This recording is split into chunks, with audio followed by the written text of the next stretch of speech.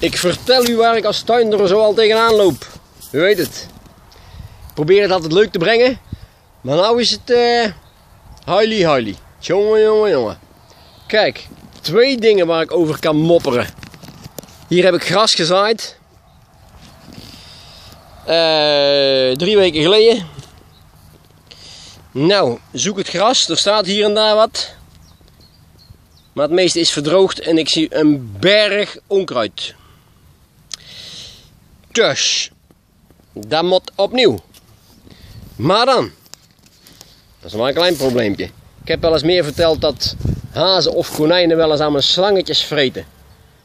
En eh, ja, och, dat enkele slangetje denk ik dan. Maar nou ik hier rondliep, jongen, jongen, nou werk even niet goed. Kijk nou toch eens wat die beesten hier aangericht hebben. Dit heb ik eh, drie weken geleden hier, eh, hebben we alle slangetjes nagekeken. Het is overigens een veld. Dan moeten we nog gaan planten, dus daar, daarom staat er nog niks. Kijk eens. Afgebeten. Kijk, doormidden geknauwd. Kijk eens, volgende paadje. Kijk eens, volgende paadje. Niet normaal.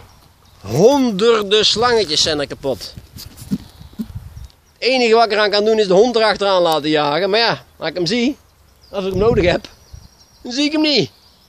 Nou, zijn we weer mooi klaar mee.